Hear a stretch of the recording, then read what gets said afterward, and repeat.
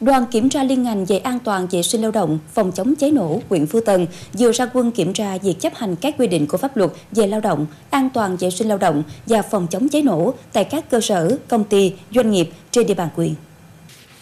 Tại các cơ sở, đoàn tập trung kiểm tra việc tuân thủ các quy định của Bộ luật Lao động về hợp đồng lao động, thực hiện các chính sách về tiền lương, bảo hiểm xã hội, bảo hiểm y tế, bảo hiểm thất nghiệp, công tác bảo đảm an toàn vệ sinh lao động, trang bị bảo hộ lao động, khám sức khỏe định kỳ, việc kiểm định và đăng ký sử dụng các thiết bị có yêu cầu nghiêm ngặt về an toàn lao động, hồ sơ về vệ sinh lao động, trang bị phương tiện y tế, các trang thiết bị, dụng cụ và công tác phòng chống cháy nổ, phương án phòng cháy chữa cháy,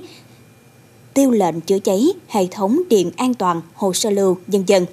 Trong quá trình kiểm tra, đoàn kết hợp tuyên truyền, hướng dẫn các cơ sở, công ty, doanh nghiệp thực hiện đầy đủ các quy định về an toàn vệ sinh lao động, phòng chống cháy nổ theo quy định của Bộ luật Lao động.